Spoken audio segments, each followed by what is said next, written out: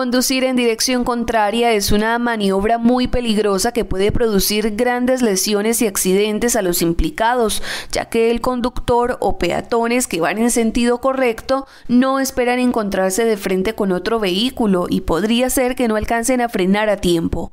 Esta mala conducta fue grabada recientemente en la avenida Francisco Fernández de Contreras y el infractor es el conductor de un vehículo de carga pesada.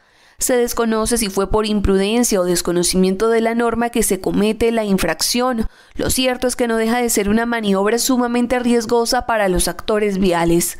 Sepa usted que transitar en sentido contrario al estipulado para la vía, calzada o carril, además de poner en riesgo su vida y la de los demás conductores y peatones, implica una multa cercana al millón de pesos en este año 2023.